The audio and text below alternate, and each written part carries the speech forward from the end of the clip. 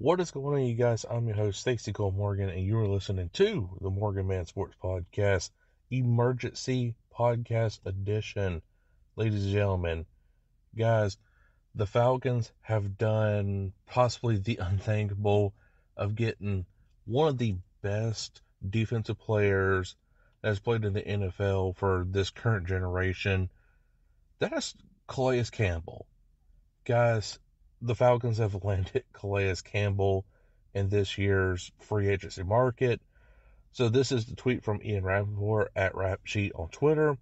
Sources: The Falcons are making another splash as former Ravens star Calais Campbell intends to sign a one-year deal with the Falcons. Pro Bowler and former Walter Payton Man of the Year will lend leadership to a young team and he believes in. And Atlanta adds yet again on defense guys, not only will this be leadership and all that, it's also going to be that veteran IQ whenever he plays on the field alongside with Eddie Goldman, Grady Jarrett. I mean, this list is going to go on. Guys, I'm I'm not afraid to say that this is going to be a top 5 defensive line in this year's NFL season. I really am not afraid to say that, especially now since, again, you got Grady Jarrett, who has got tremendous, and I mean tremendous help, and Eddie Goldman, and now Calais Campbell. And all credit goes to Terry Fontenot as well. Looking back at it, I mean, Terry Fontenot, he is a slick talking son of a gun. Okay, like, he brings in a 15 year veteran who was respected all across the league, who has made tremendous contributions to each and every single team that he's played for and has made an impact. And now he comes in to the Falcons organization. This is just golden right here. And to have, again, to have Calais Campbell, this is a top five defensive line in the entire National Football League and of course, everybody's reacting on Twitter saying, you know, this is a huge W, including myself, you know, huge W to start off the day, on so forth. And of course, you got some negative people saying, okay, yeah, great. The Falcons is always going to falcon it up of signing one of the best players who is way past her prime and it's not going to provide much value. No, I disagree with that. I mean, yes, it is 15 years, and Eddie, uh, not Eddie, but uh, Calais Campbell, he is kind of of that age where he is near retirement. But by gosh, he is still playing at a high level, guys. A huge high level proficiency from Calais Campbell. And that's what you're going to get, especially under Ryan Nielsen defense, is aggression, toughness, and this is what this defensive line is really going to get. So that was the emergency part of the podcast, ladies and gentlemen. Uh, I sure hope you did enjoy that part. But let's also talk about Desmond Ridder right quick. Desmond Ridder has been now named the starter for the 2023 season. Like Arthur Smith and Terry Fontenot are expecting him to make that next step whenever it comes to productivity winning games, everything that you expect for in a quarterback, that's what Arthur Smith and Terry Fontenot is looking for. Like, they believe in him, they trust him.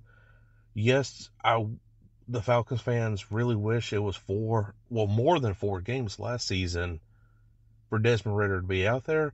But from what that small little package tells us, within this last four games, two road games, two home games, he made improvements. Very first game against the Saints, you almost win it. The clock management was not great, so you cannot really you can't really put that on Desmond Ridder because again, it's his very first NFL game, you know, as as a pro in the regular season. Second game, you know, he's definitely making better throws, running a little bit more. I think he even scored a touchdown, if I'm not mistaken.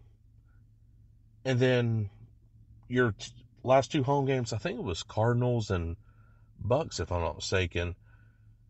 you you absolutely dominated the scene right there. Like you're you're you're having accurate balls, you're running when you need to, making smart decisions. And that's what you like to see is that actual progression moving forward.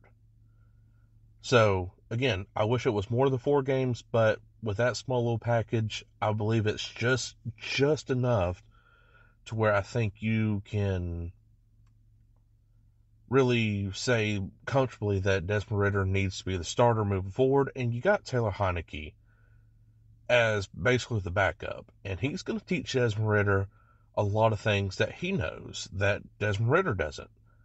And he's going to say, on looking on the Microsoft Surface laptop, you know, hey, look, you know, this is what you should have done in this play instead of this. You would have got, you know, X amount of yards or even a touchdown. Plain and simple as that. And of course, the source does come from Arthur Smith himself at the owners' meeting that's happening this week. So I, I love the decision to make Ridder the starter for the 2023 season. And of course, if things do go south and you're not feeling as comfortable with Ridder no more, you always got Taylor Heinicke, who has proven that he can turn things around. Just look at the Washington Commanders.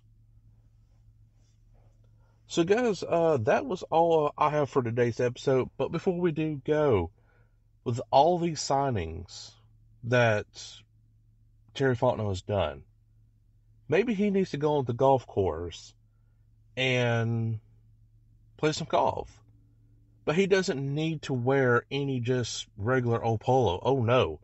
No, he needs to wear the Mahler Bros golf polos.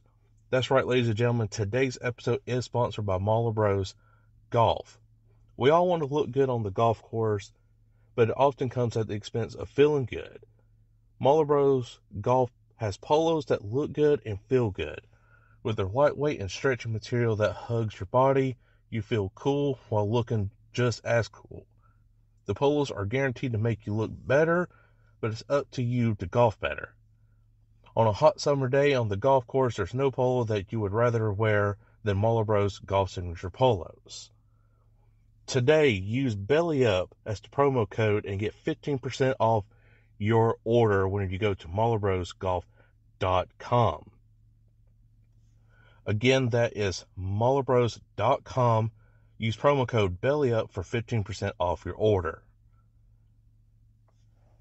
So, guys, again, I sure hope you did enjoy this emergency podcast. If you did, make sure to like button wherever you are listening from iHeartRadio, Spotify, Google Podcasts, or wherever you get your preferred podcast.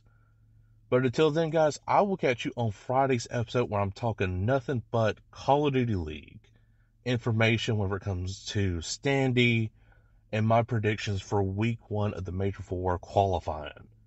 But until then, I, Morgan, will catch you all later. Peace.